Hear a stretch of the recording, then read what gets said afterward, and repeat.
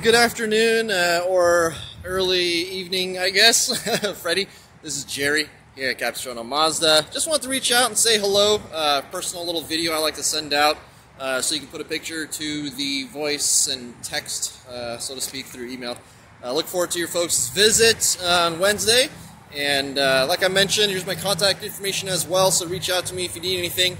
949 345 9671 here at Capistrano Mazda.